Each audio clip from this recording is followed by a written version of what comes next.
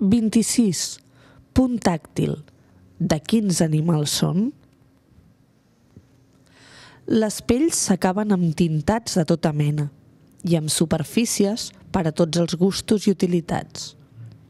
No és el mateix una pell per a una empenya de sabata que per a una bossa, una tapisseria o una granota de corredor de curses de motos.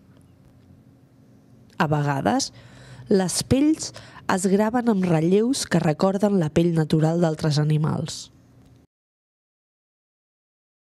A veure si sou capaços d'endevinar a partir del tacte quines pells d'animals imiten aquestes mostres, totes elles fetes amb pell de vaca.